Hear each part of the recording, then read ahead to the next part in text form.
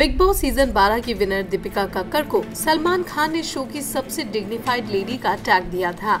अक्सर सलमान को दीपिका का पक्ष लेते हुए भी देखा गया।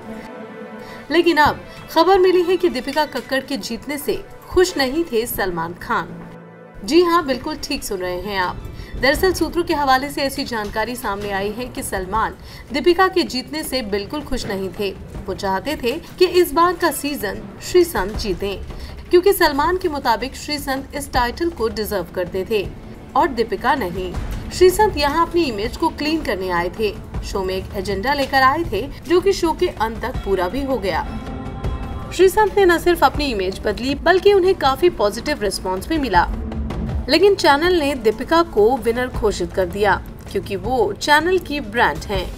ऐसी जानकारी मिली है कि इस बात को लेकर ही फिनाले के दौरान भी चैनल और सलमान खान के बीच काफ़ी बहस हुई थी, लेकिन आखिरकार चैनल ने सलमान की बात नहीं सुनी और दीपिका कक्कड़ को विनर घोषित कर दिया।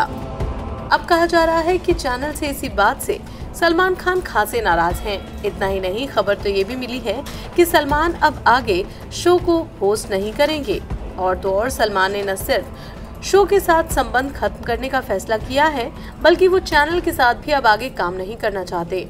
आपको बता दें कि सलमान खान वैसे तो बिग बॉस को चौथे सीज़न से लगातार होस्ट कर रहे हैं। तो अब ये देखने वाली बात रहेगी कि सलमान बिग बॉस के अगले सीज़न में दिखाई देंगे या नहीं।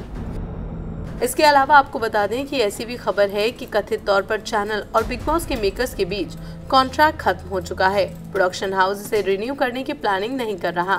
ऐसे में ये संभावनाएँ भी बढ़ गई हैं कि शो आने वाले टाइम में दूसरे चैनल पर शिफ्ट हो जाए।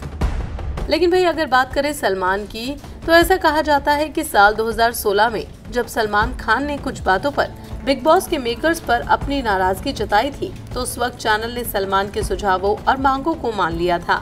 लेकिन अब लगता है कि चीज़ें बदल चुकी हैं।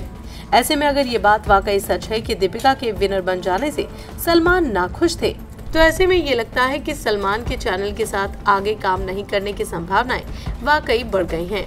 तो अब इस खबर पर क्या है आपका रिएक्शन कमेंट सेक्शन में ज़रूर बताएँ।